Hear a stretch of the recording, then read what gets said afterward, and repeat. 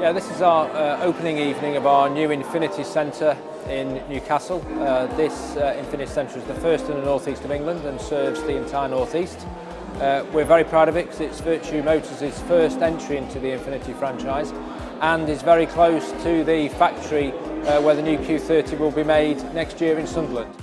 This evening the idea is to invite a lot of local uh, celebrities and people that are known to the, the, the dealer group, uh, Vertu, who are taking on the Infiniti Centre in Newcastle. Critically we've got people in from the, the, the manufacturing plant too, but most importantly we've got local customers, local business people.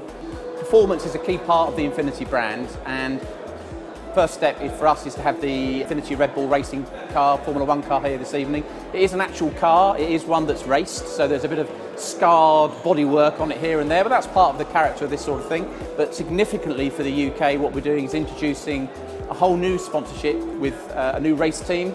They will be racing an Infiniti Q50 in the British Touring Car Championships on from next April.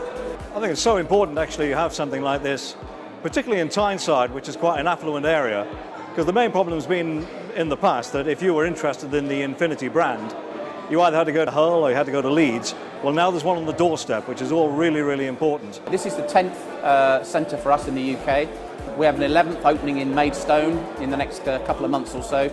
And there's a, a series of more uh, centres being rolled out across the country, giving us better coverage and making sure that we can look after people, look after customers in the way they'd be expected and some more. So we're very focused on what we can deliver as a customer experience from these centres, but we do need uh, greater geographic coverage and obviously Infiniti Centre Newcastle is a fantastic step in that direction. Uh, we have a wide range of different partners that we work with up and down the country and Vertu are our, our first PLC. They have an amazing track record of growth, very successful business.